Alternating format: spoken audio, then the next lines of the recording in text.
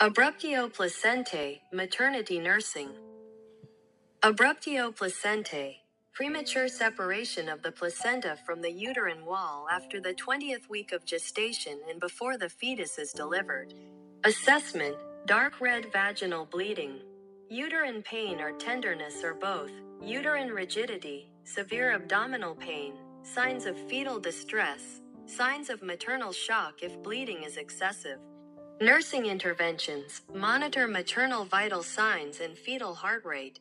Assess for excessive vaginal bleeding, abdominal pain, and an increase in fundal height.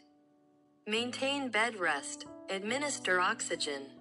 IV fluids and blood products. Place the client in Trendelenburg's position. Monitor and report any uterine activity. Prepare for delivery of the fetus. The differences between placenta previa and abruptio placentae. In placenta previa, there is painless, bright red vaginal bleeding, and the uterus is soft, relaxed, and non tender.